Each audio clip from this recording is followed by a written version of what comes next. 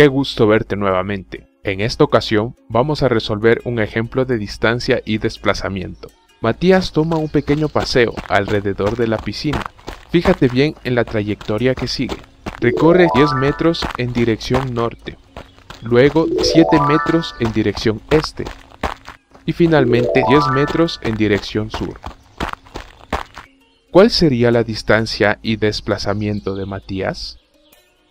Recuerda que habíamos mencionado que la distancia es el espacio recorrido por un objeto durante su movimiento. El desplazamiento se refiere a la distancia y la dirección de la posición final respecto a la posición inicial de un objeto.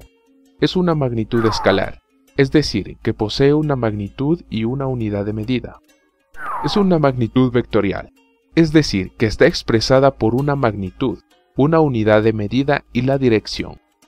La distancia, como el desplazamiento, están expresadas en metros, según el sistema internacional. Ahora bien, vamos a resolver el problema. La distancia sería igual a la suma de las distancias recorridas. Distancia es igual a 10 metros más 7 metros más 10 metros, por lo que la distancia es igual a 27 metros. Como ya lo mencionamos, el desplazamiento es la distancia en línea recta entre el punto inicial y final. El vector de color verde muestra el desplazamiento. Para calcular el módulo del vector desplazamiento utilizamos la siguiente fórmula. Raíz de x final menos x inicial elevado al cuadrado más y final menos y inicial elevado al cuadrado. Encontremos las coordenadas de los puntos inicial y final.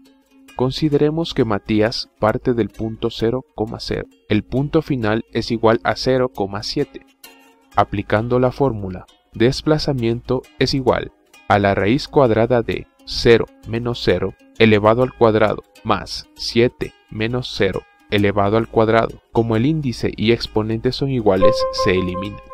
Matías se desplazó 7 metros. El signo del resultado de la operación indica la dirección del desplazamiento. Entonces decimos que Matías se desplazó 7 metros al este. Recuerda suscribirte al canal y visitar nuestro sitio web. Espero verte muy pronto. Adiós.